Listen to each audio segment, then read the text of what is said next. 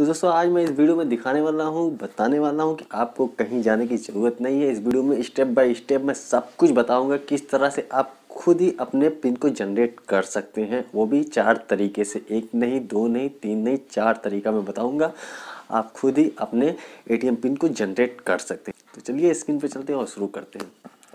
तो दोस्तों, सबसे पहले आपको, सबसे पहला ट्रिक ये है, आप देख सकते हैं, अपने मोबाइल से घर बैठे अपने एसएमएस से अपने पिन को जनरेट कर सकते हैं। जैसे कि आप यहाँ पे देख सकते हैं five six seven six seven six पे आपको एसएमएस करना होगा।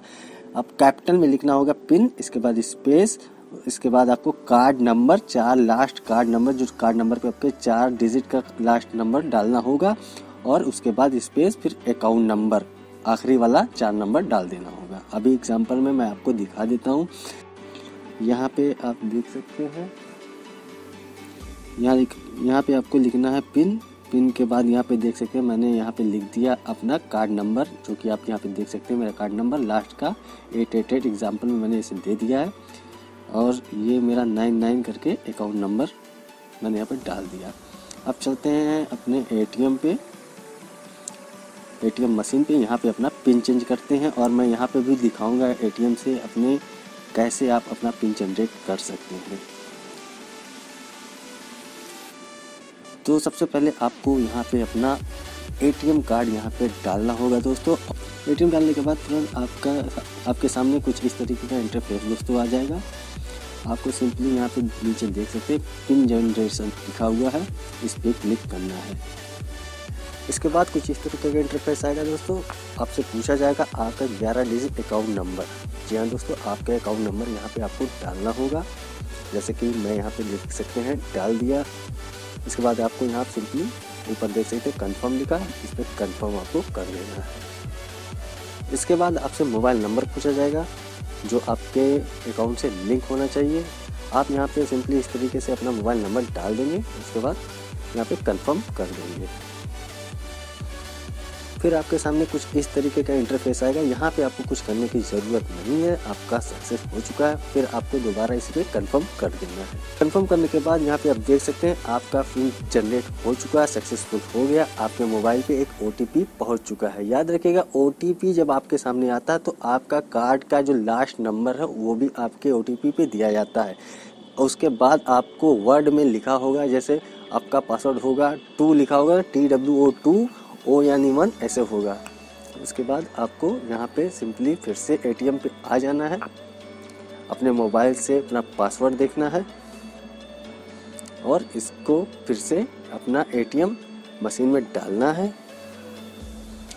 आपको पिन चेंज कर लेना दोस्तों, उससे कोई ट्रांजेक्शन आप नहीं कर सकते हैं, इसलिए पिन आपको चेंज करना ही होगा।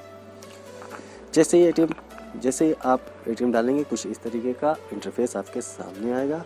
आपके सामने दो ऑप्शन आएँगे, हिंदी इंग्लिश आप हिंदी में करना चाहे तो हिंदी में कर सकते हैं इंग्लिश में करना चाहे तो इंग्लिश में कर सकते हैं। मैं सिंपली इसको इंग्लिश में फिर यहाँ पे आपको इंटर एनी नंबर यहाँ पे कोई भी नंबर आप दो नंबर चूज़ कर लीजिए और यस कर दीजिए। कोई भी नंबर एग्ज़ाम्पल में देख सकते हैं पच्चीस दिया हुआ है। बस ऐसे ही ये पूछ रहा है। चलिए मैं भी इस पर छब्बीस लिख के यस उसके बाद दोस्तों, यहाँ पे आपको प्लीज़ इंटर योर पिन जो भी आपके मोबाइल नंबर पे आपके पिन गया था, आपको वही पिन यहाँ पे डालना है।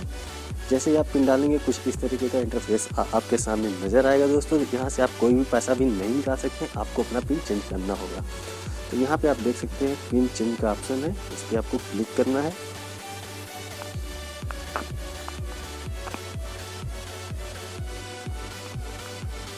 क्लिक करने के बाद आपसे पूछा जाएगा please enter your new PIN? तो आपको पिन चेंज करना है तो जो भी आप पिन रखना चाहते हैं, आप यहाँ पे रख सकते हैं। तो आप अपना पिन यहाँ पे चार अंक का जो भी है, डाल दीजिए। फिर आपसे पूछा जाएगा प्लीज़ री इंटर योर पिन? फिर से वही पिन आपको डालना है, जो अभी भी आपने डाला है, दोबारा कंफर्म करने के लिए।